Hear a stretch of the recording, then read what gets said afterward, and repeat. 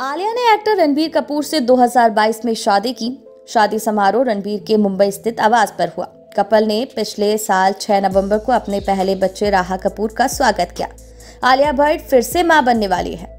जी हाँ ये खबर सुन जितने आप हैरान हैं, उतने ही शौक में आलिया और रणबीर के फैंस भी हैं। साल 2022 के अप्रैल महीने में इस कपल ने सात फेरे लिए और दो महीने बाद ही आलिया की अपने प्रेग्नेंट होने की न्यूज़ सबको दे दी। लोग तभी हैरान थे। अब आलिया की प्रेगनेंसी की फेक खबर सोशल मीडिया पर वायरल हो रही है। फिर से माँ बनने वाली हैं आलिया भट्ट।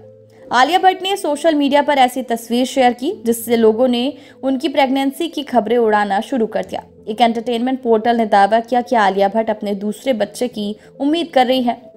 ये दावा इस तथ्य के आधार पर किया गया कि उन्होंने अपने कपड़ों के ब्रांड के लिए अपना नया मेटर्निटी कलेक्शन लॉन्च किया और इसी से पूरी बात शुरू हुई।